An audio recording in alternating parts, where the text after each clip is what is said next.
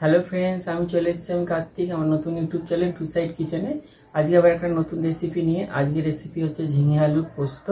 সেটা বানানোর জন্য কি কি উপকরণ লাগে দেখাবো। তার আগে একটা কথা বলে দিই, আমার চ্যানেলে যেসব ভিডিও ছাড়া আছে, আপনাদের যদি ভালো লেগে থাকে লাইক কমেন্ট শেয়ার করবেন ও বেশি বেশি করে শেয়ার করবেন। আপনি যদি আমার চ্যানেলে নতুন হয়ে থাকেন প্লিজ সাবস্ক্রাইব করে দেবেন আর নিচে বেল নোটিফিকেশানটা অলে করে দেবেন। যাতে আমার ভিডিও আপনাদের কাছে আগে পৌঁছে যায়, তাহলে চলুন ঝিঙে আলু পোস্ত বানানোর জন্য কি কি উপকরণ লাগে দেখাই।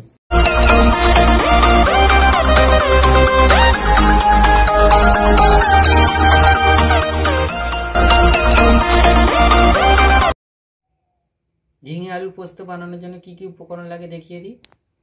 এখানে নিয়েছি দুটো ঝিঙে বড় সাইজ করে কেটে নিয়েছি, চারটে বড় আলু নিয়ে বড় সাইজ করে কেটে নিয়েছি। ওখানে আমি একটা টমেটোকে চিড়ে নিয়েছি। ছোট ছোট করে চারটে কাঁচা লঙ্কা চিড়ে নিয়েছি। আর এখানে আমি পরিমাণ মতো পোস্ত বেটে নিয়েছি, কাঁচা লঙ্কা দুটো দিয়ে। এখানে পরিমাণ মতো নুন নিয়েছি, তিনটে পেঁয়াজ নিয়েছি, কুচি করে নিয়েছি। আর এখানে পরিমাণ মতো সর্ষের তেল নিয়েছি আর কালো জিরে নিয়ে নিয়েছি। চলুন তাহলে রেসিপিটা শুরু করি। গ্যাসটা জেলে কড়াটা বসিয়ে দিয়েছি, কড়াটা গরম হলে তেল দেবো। কড়াটা গরম হয়ে গেছে, দিয়ে দেবো পরিমাণ মতো সর্ষের তেল। এটা আমার গরম হয়ে গেছে, দিয়ে দেবো কালো জিরেটা। এবার কাঁচা লঙ্কাটা দিয়ে দেবো পেঁয়াজটা দিয়ে দেবো এর পরিমাণ মতো নুন দিয়ে দেবো এবার ভেজে নেব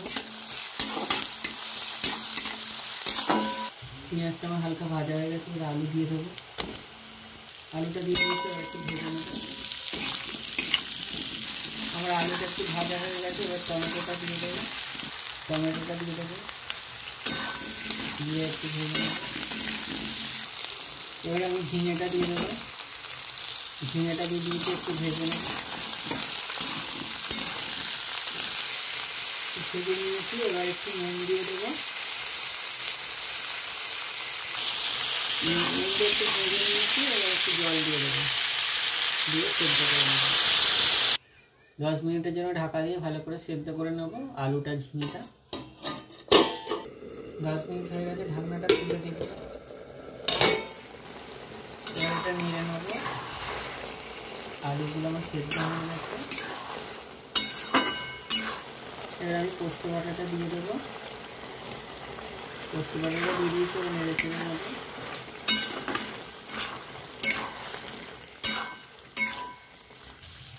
আমার ঝিঙে দিয়ে আলু দিয়ে পোস্ত আমার হয়ে গেছে, এবার এটা নামিয়ে নেব। কাঁচা লঙ্কাগুলো দিয়ে দিয়েছি, এবার ওপর দিয়ে একটু কাঁচা সর্ষের তেল ছড়িয়ে দেবো। আমার ঝিঙে, আলুর পোস্ত রেডি হয়ে গেছে। এই রেসিপিটা যদি আপনাদের ভালো লেগে থাকে লাইক কমেন্ট শেয়ার করবেন ও বেশি বেশি করে শেয়ার করবেন। প্লিজ সাবস্ক্রাইব করে দেবেন ও পাশে থাকবেন। চলুন তাহলে দেখা হচ্ছে নেক্সট ভিডিওয়ে